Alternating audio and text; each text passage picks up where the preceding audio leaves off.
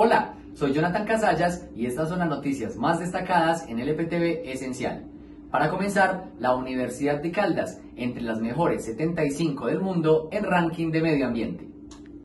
De 1.050 universidades, la Universidad de Caldas ocupó el puesto número 7 a nivel nacional y el 75 en el ámbito internacional en el ranking UI Green Metric. Este ranking pretende llamar la atención de los líderes universitarios para que trabajen por la lucha contra el cambio climático global, la conservación de energía y agua, el reciclaje de desechos y el transporte ecológico. A pagar más por cuotas moderadoras y copagos. El decreto 2613 del 28 de diciembre del 2022 reajustó el incremento del salario mínimo legal mensual vigente en 16%, 1.300.000, poco después, la circular externa número 55 del 2022 actualizó los montos de las cuotas moderadoras y de los topes máximos de los copagos por evento y año calendario para la vigencia siguiente conforme al incremento de la unidad de valor tributario, la cual se fijó de acuerdo a la resolución 001264 del 18 de noviembre del 2022 en 42.412 pesos. Once Caldas conocerá mañana su calendario. El calendario de la Liga Betplay 1 2023 se conocerá mañana en Bogotá.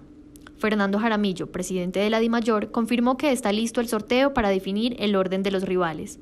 Entre tanto, el Once Caldas ajustó una semana de pretemporada en su sede social y deportiva.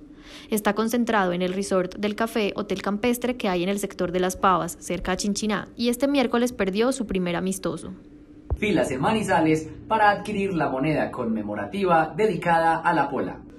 En la mañana de este miércoles se observaron filas en el Banco de la República en Manizales para comprar la moneda de 10 mil pesos.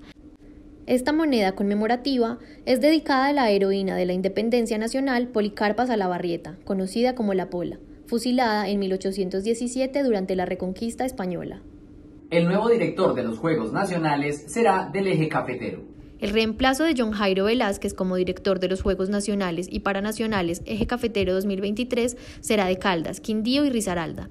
Así lo explicó María Isabel Urrutia, ministra del Deporte consultada por la Patria. Analizamos varias hojas de vida. Será para una persona de allá de la región, dijo la funcionaria, quien explicó que la idea es que se elija en el comité de juegos que se hará en febrero.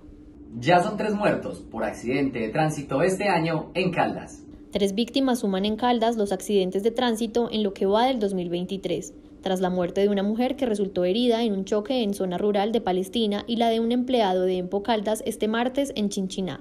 La primera también fue en Palestina, con la que se supera el registro del año pasado de una muerte por accidente de tránsito en este municipio, y este año 2023 ya van dos.